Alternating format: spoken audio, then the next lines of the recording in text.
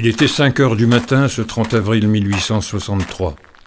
La troisième compagnie du premier bataillon du régiment étranger pénétrait dans Camaron, un petit village indien sur la route de Palo Verde.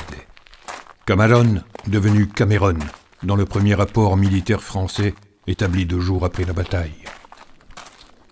Les légionnaires étaient en tenue d'été. Ils portaient une veste de couleur bleue sur un pantalon de toile écrue. Ils étaient coiffés du sombrero local en feuilles de latanier.